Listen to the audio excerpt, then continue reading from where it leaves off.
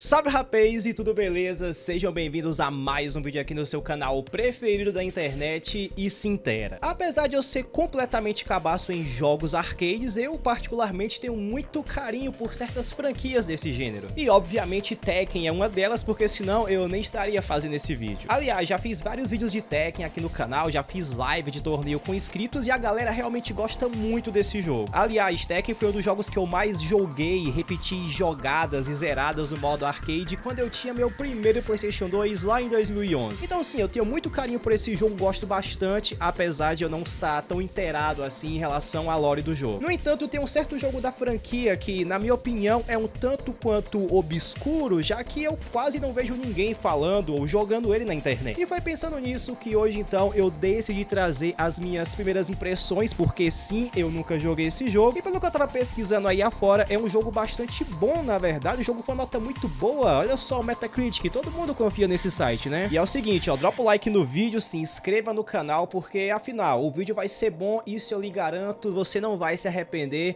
Então vamos começar. Apesar de ser um jogo muito antigo, Tekken 5, na minha humilde opinião, envelheceu muito bem. E hoje então a gente vai estar tá dando uma olhadinha aqui no Tekken 4. E como eu falei aqui na abertura desse vídeo, eu nunca joguei esse jogo, essa é literalmente a minha primeira vez abrindo o mesmo.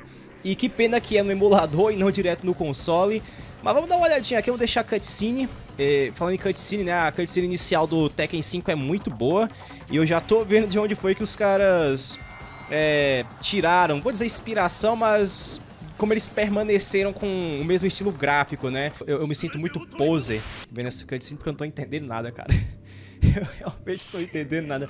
Eu não entendo da, da, da lore de Tekken, tá, galera? Eu só sei que tem um, um, um pouco a ver com demônios, hierarquia de demônios e essas coisas aí. Muito bem, vamos começar. Beleza, easy, medium, hard, ultra hard. Eh, vamos no médio, né? Porque eu sou ruim. O menu me lembra bastante o menu do, do Tekken 5. Apesar de que lá no Tekken 5 é um pouco mais estilizado, né? Tem uma musiquinha de fundo. Então, Story Battle, Arcade, Time Attack, Versus, Team Battle, Survival, Praticar Treino, Tekken Force. O que é isso aqui? Isso aqui é tipo um, um, um, modo história? O que é isso aqui? Vou, vou até dar uma olhadinha. Realmente, cara, vem com uma lista de personagem, assim, bem limitada, né, cara? Olha só isso aqui. É bem pouco personagem e já vem com bem pouco liberado também. Vamos jogar então aqui com a Christie. Christie é... Tô ligado, né, mano? A Christie é da, da horinha. Isso aqui vai ser tipo um modo história, eu suponho. Vamos ver aí. Cara, o gráfico é daquele jeito, né? E, pior que é o modo 3D, assim, é, 3D e meio, pra dizer, no, pra, pra ser mais exato. Na, na, real, 3D, 3D mesmo, né? O problema é a câmera. O pior que é um modo RPG, praticamente, né? Um modo de passar de fase, um modo linear. Eu, eu, eu, chamo tudo que é de passar de fase de RPG, galera. Desculpa a minha ignorância aí. Mas é meio meio complicadinho, peraí, acho que dá pra fazer... É, eu acho que são os mesmos combos, cara, os mesmos combos do Tekken 5, né? O gráfico é levemente inferior ao do Tekken 5, eu acho que... Não sei se é só impressão minha, mas eu percebo que tem menos polígonos aqui. Vamos avançar. Christian é mó roubada, né, mano? Agora sim, o outfit dela aqui tá meio ruim, pra dizer no mínimo, tá? Esse verde aí, essa camisa dela aí... Porra, parece uma versão feminina da camisa do... do... Do Vomax lá do Ben 10, mano. Nossa, o efeito sonoro disso aqui, cara. Ah, esse, creio que isso aqui seja um minigame, né? Sei lá, um adicional aí pro jogo. Deve ser tipo assim pra fazer umas pontuação, alguma coisa assim. Tá, é, é meio paia. Pra ficar mais interessante, eu fui atrás de um save data já com tudo desbloqueado e assim, é pouco personagem, cara. Não tem o que fazer. Mas eu percebo que aqui já tem algumas caras, alguns rostos bem conhecidos por mim, pelo menos, lá do Tekken 5. Esse combate, o que é esse combate, mano? Combate, cara? Vamos dar uma olhadinha então aqui no nosso amigo Jin. É, fico muito triste de ver que a Azuka não estava aqui ainda nesse jogo. É realmente lamentável. E, e ó, mano, essa skin da, da, da, da Christie aí tá meio paia, viu? Meio paia. Cara, essa HUD, mano, essa HUD, velho. Nossa, que HUDzinha badaras, mano. Olha só, mapas diferentes também, né? Que é um aeroporto.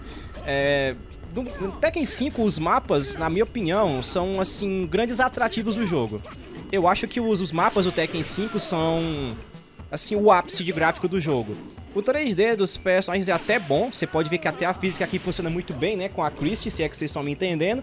Mas piadas à parte aqui, Aqui eu já sinto até o gráfico Zelda também um pouco inferior, né? Eu não sei ex exatamente a diferença de, de, de ano pra cada jogo, mas deve ser pelo menos um ano ou dois, né? Alguma coisa assim. O jogo tá bem easy aqui, cara. Aí, ó. De Perfect. Ah, mano, ia ser um Perfect. Eu quero saber quem é o boss final nesse jogo. Tipo assim, o último chefão, se é igual o Tekken 5, que é o, o velho lá transformado. Vocês veem como eu tô inteirado da franquia, né? Eu, eu até decoro, lembro o nome dos... O nome do, do boss, né, cara? Muito feio. Tá, isso aqui é uma, uma rodoviária, uma, uma rua principal, alguma coisa assim?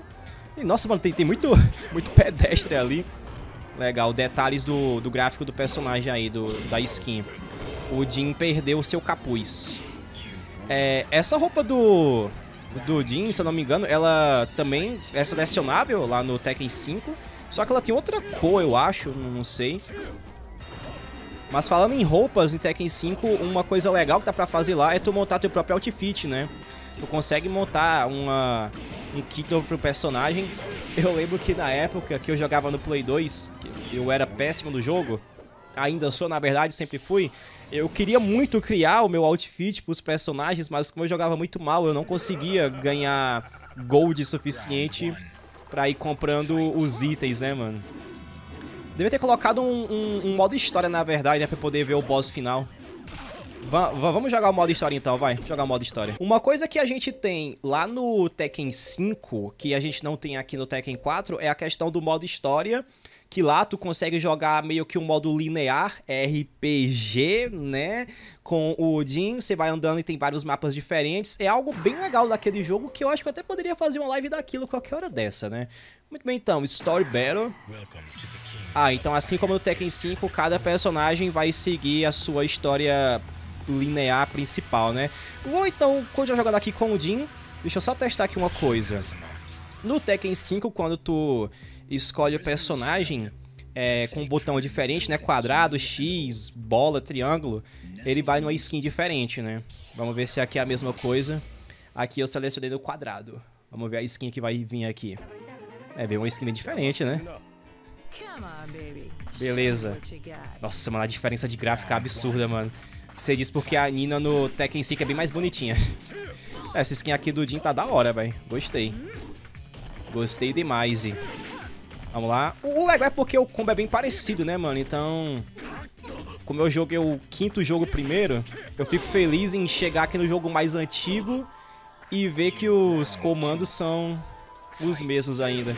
Por mais que eu não jogasse com muito com o Jin lá, né?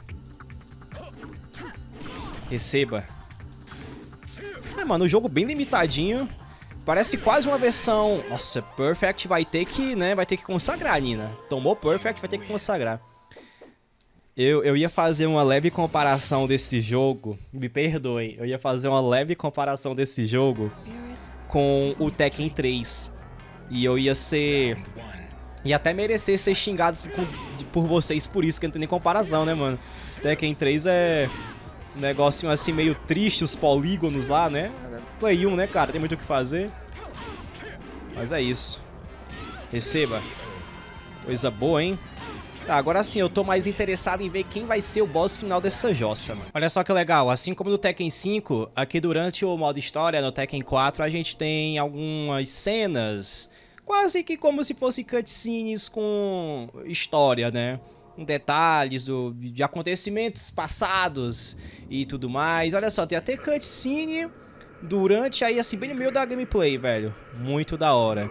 Mas convenhamos que aqui a qualidade tá, ó, uma uvinha, uma uvinha congelada. Oitava batalha agora então com Kazuya, velho. Isso aqui vai ser muito difícil, mano. E olha só, o, o, o Jin, ele deu uma trocadinha aqui no outfit, né? Olha só, velho, legal. Isso não acontece no Tekken 5, né? No Tekken 5 tu não tem essa mudança na roupa do personagem durante o modo história, né, cara? Legal. Da hora, da hora. Agora sim, uma coisa que eu não vi aqui no modo história ainda é que, por exemplo, lá no Tekken 5, tu tem umas cutscenes, assim, com gráfico do jogo mesmo, né? Cutscene em tempo real, não é vídeo gravado que nem aqui, por exemplo. Perceba que aqui no quarto jogo da franquia, desde o quarto jogo a CPU sofre com isso, ó. Tu ficar só segurando setinha pra baixo e bolinha, dando chutinho baixo, pô, a CPU sofre muito com isso desse jogo, cara. Beleza, então rolou mais uma cutscene aqui. É, infelizmente cutscene de vídeo gravado mesmo, né? Não, não é em tempo real ali rodando.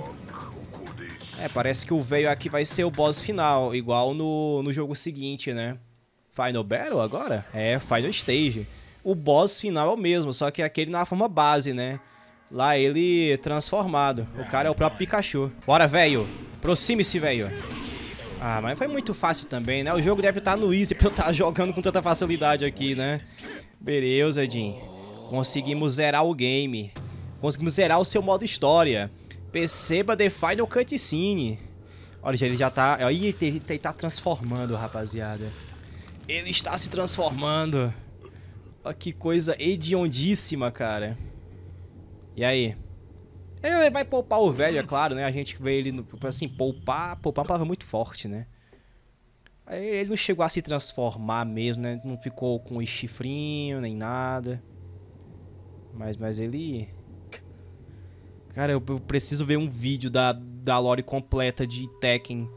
Porque eu, eu como gosto, né? Vou até colocar entre aspas, gosto da franquia, porque quem gosta iria entender tudo que está acontecendo aqui. Eu, como sou um apreciador da franquia, deveria estar mais inteirado na sua história. Então, prometo que vou pesquisar e me inteirar sobre. Beleza? Nossa, isso aí foi meio paia, viu? Meio paia aí esse final. Inclusive, eu acho que o início da história do, do Jin lá no Tekken 5 é. Eu acho que tem alguma coisa a ver com esse final aqui, né? Alguma coisa assim. assim o início da cutscene dele, eu acho que tem uma cena disso aqui mais ou menos. Enfim, rapaziada, é, drop o like no vídeo, se inscreva no canil. Eu espero, é claro, que os senhores tenham se divertido com essa preservada aqui. Vejo os senhores então em o próximo vídeo. Muito obrigado, valeu, é nóis, vou indo nessa e falou.